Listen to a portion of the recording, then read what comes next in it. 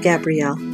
I'm happy to share with you today a project I made using a new stencil that I designed for the Crafters Workshop. This one is called the Dragonfly Mosaic. I also used another stencil I designed for them called Tile Mania. You can find a list of all the products I used in this video uh, just down below in the description area under the YouTube video. I also tried to provide you some links to places where you can buy these products. I'm working on a canvas here that is 6 by 8 inches. I got this one at my local dollar store. And what I'm doing here is just giving it a nice coat of black gesso. The gesso I'm using is by TCW, that's the Crafters Workshop. After drying my canvas, I now take my 6x6 stencil, which worked out perfectly for this canvas, and I'm using black modeling paste by TCW. I'm just using a spatula to apply it just carefully over my stencil, give it a nice even coat.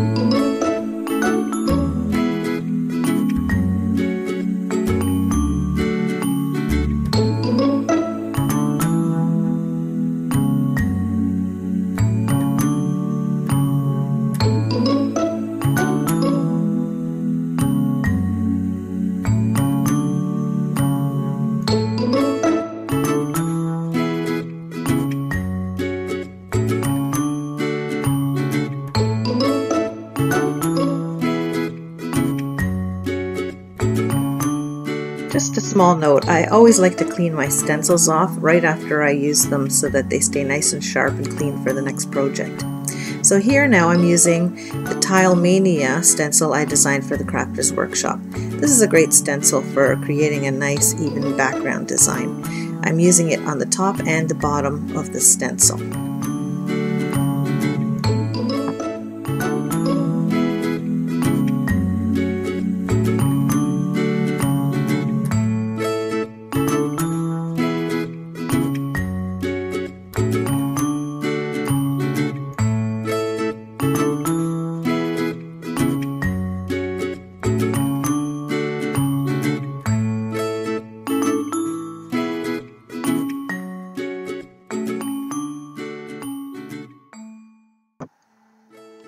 Color my mosaic tiles, I'll be using this Pearl-Ex mica powder uh, to just add different shades of coloring to it.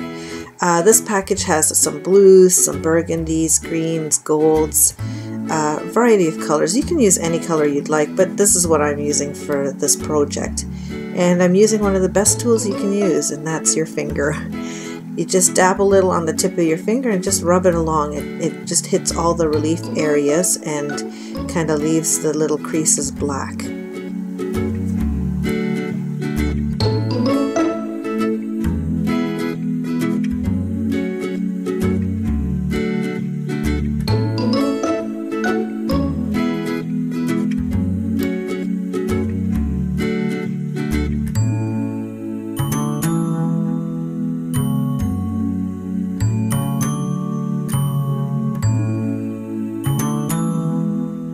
Get an iridescent look, I'm mixing in a little bit of the greens, a little bit of the mauvey purples, and the blue.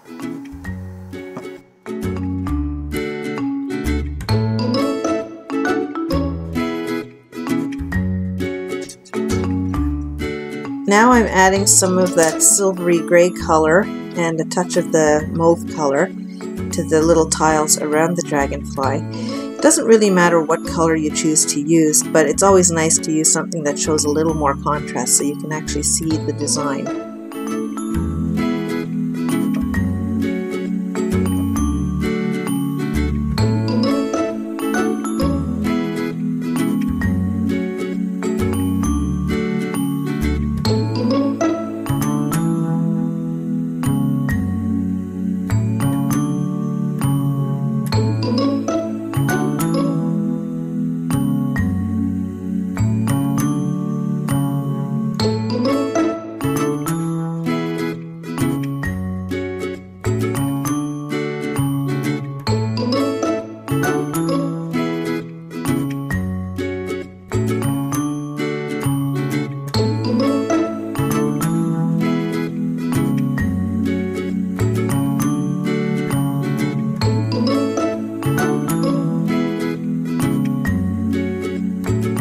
I'm using a little bit of that burgundy pinkish color for the little tiles circling the dragonfly. And after that, I'm going to be adding some of the gold. Don't worry if you smudge over onto another section. You can cover it with the next little bit. The gold really makes a nice strong impact. I really like the effect of it. Again, this collection is the Series 2 Pearl-Ex. I bought mine at Michael's, used my 40% off coupon and got it at a fairly decent price. And it's really, really gone a long way for me. I bought this probably 10 years ago and I'm still going with it.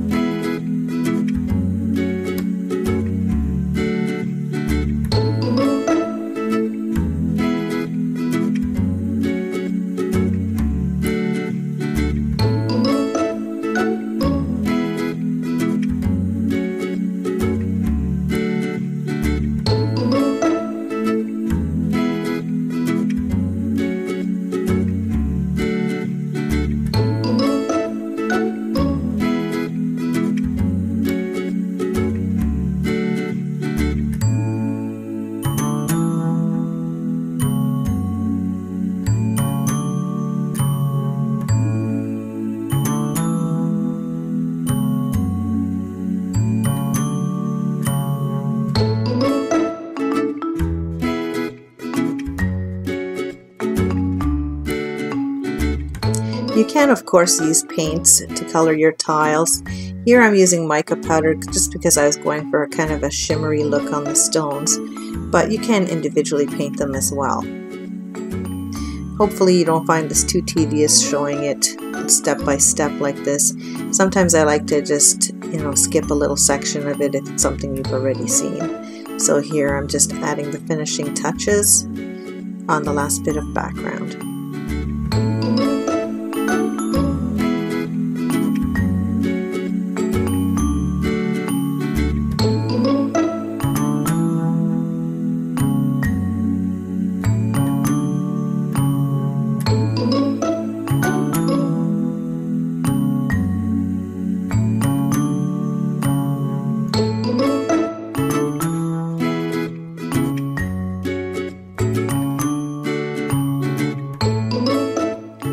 Top and bottom strips, I'm doing it a little differently. I'm just dabbing the mica powder on loosely and then I'm going to cover the area that I've carefully painted and I'm just going to take plain water and spray the mica powder. This way it begins to act like a paint and kind of runs into all the creases that we created with the stencil.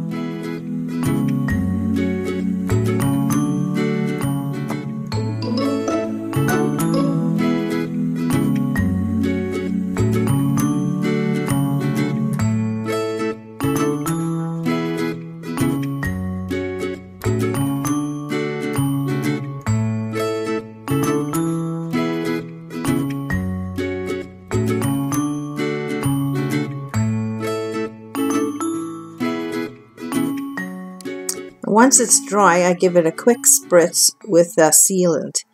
Uh, mica powder, it can rub off when you do attach it to a project, so you want to be careful to do something to seal it in.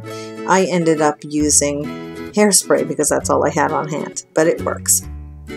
And so now what I'm doing here is I'm adding a few flower accents to the corners of my canvas.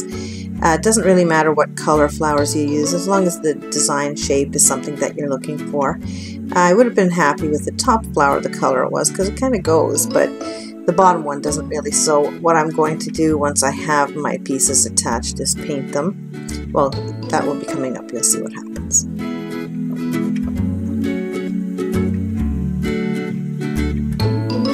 And I'm using a gel paste by TCW, that's the Crafters Workshop, uh, to attach my uh, flower accents and my chipboard that's coming up. Uh, it has gives a nice strong bond and keeps it nicely attached to the project. Here I'm adding a few leaves and again not to worry about colors or anything because that will be adjusted shortly.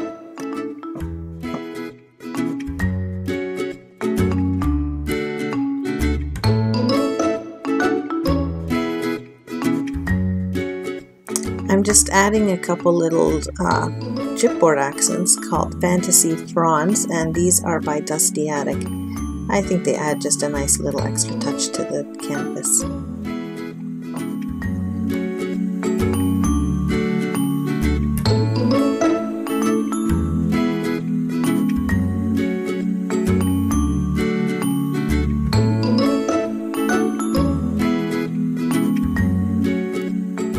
Color my chipboard fronds, I'm using Prima Art Alchemy paint. Uh, this one, I believe the color was Ancient Coin. I'm just dabbing on a little bit of the gold color paint and then just applying it again to the canvas with some of the gel paste.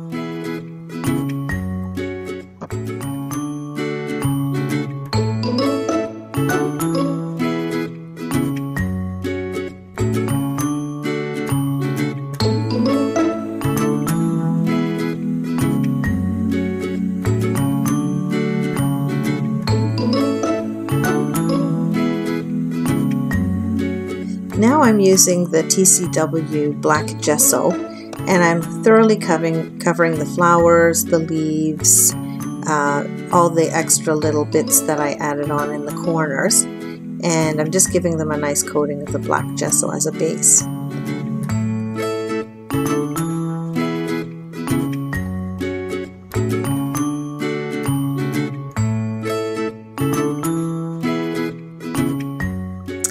Know it doesn't look like much right now, but bear with me. It will all kind of work its way together.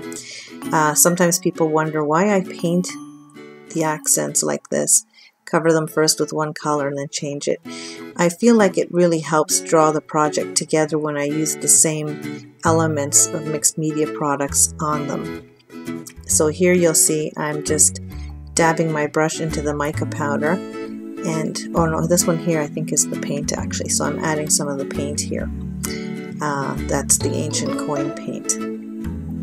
And then I'm dabbing it into the mica powders and dabbing it all over the flowers. But to make it really adhere I'm giving it a spritz of water as well.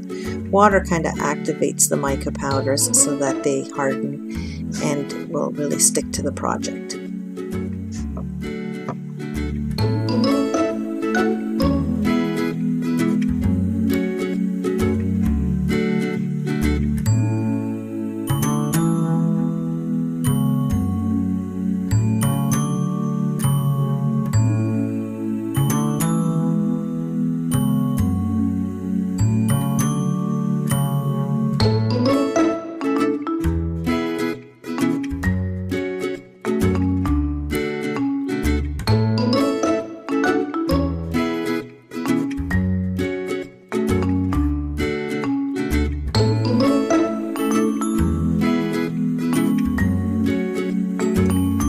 As a final touch, I'm adding some adhesive gems to the body of the dragonfly.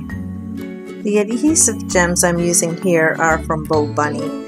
I have packets and packets of them from when I was on the team, so it's always great to have a nice use for them. And I also have the Dollar Store glitter glue here, so I thought I'd add a little dab of the glitter glue in the cross sections of the stencil design. After I also decided to add it a little bit to the flowers, I'm just rubbing bits and pieces of the sparkly glitter glue onto the flowers. And then at the end you'll see I added a little bit to the wings of the dragonfly as well.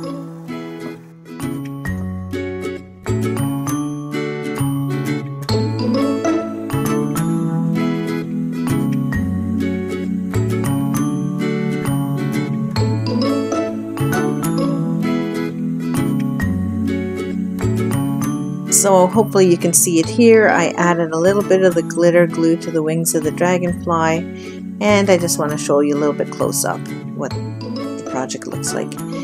I hope you enjoyed my project today and hope you enjoy using this dragonfly mosaic. Thanks for playing along with me today and hope you enjoy using this mosaic stencil. I always love to see what people do with it, so be sure to tag me in if you ever do post something that you make with it. Thanks so much.